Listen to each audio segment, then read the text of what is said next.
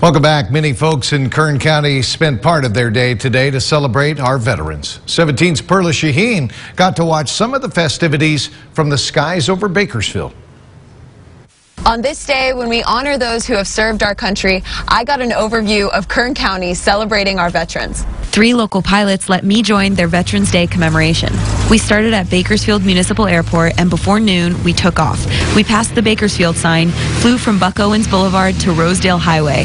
Then we got high above the haze and did a few barrel rolls.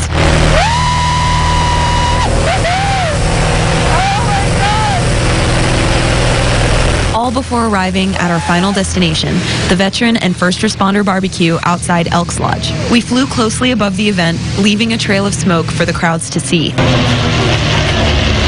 Kevin Burton is one of many who helped organize the flyover and barbecue as a tribute to those who serve our country. We can't thank them enough for what they do for us 24 7, seven days a week, 365 days a year.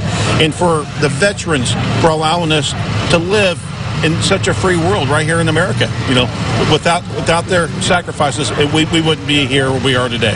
First responders and veterans enjoyed free tri-tip sandwiches and burgers. Dozens of locals also came out to show their support. Just a few blocks south was another barbecue free for veterans with a similar menu. This one was at the American Legion. It does me so much pride and my, my heart swells with pride knowing that I'm a part of this because I know where my freedoms come from, basically, and it's them. So that's why we do this. That's why we continue to do this. The funds raised at both barbecues will go towards various veteran and first responder organizations. And to all our veterans and first responders, thank you for your service. It was a pleasure to watch Kern honor you. From the skies of Bakersfield, Perla Shaheen, 17 News.